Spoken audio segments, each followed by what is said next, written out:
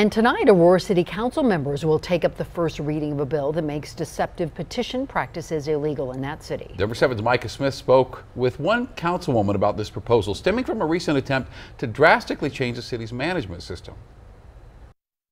We are a minority majority city in which there are lots of people in our community that English is not their first language. And Mosaic Church of Aurora pastor Reed Hedich says when he heard some petition gatherers took advantage of Aurora residents, he was deeply disturbed. I've had a couple times when I've been approached and they've asked me to sign something and they couldn't quite articulate what it was.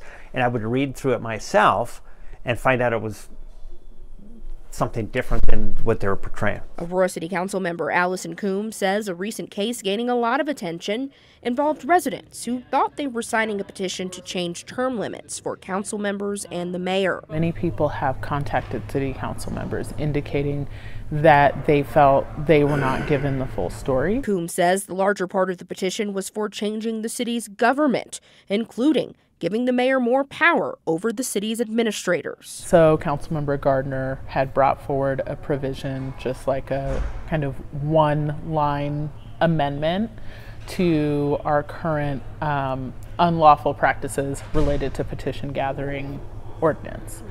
Um, and it would basically just say you can't, a person may not use deceptive practices when gathering a petition. If passed, violators face a $2,650 fine or up to 364 days in jail. But Coombs says the bill doesn't go far enough. Myself and some other colleagues did ask for some kind of language that would make the company that's paying for and training the petition gatherers be responsible versus the individual doing the petition gathering. What I've heard from the petition gatherers is that they're also not being given the full story. Hedich says he's glad City Council is stepping in. And I think it's a worthwhile consideration, discussion about the form of government that we have. But Hedich says that has to be done in an open and honest way. Reporting in Aurora, Micah Smith, Denver 7.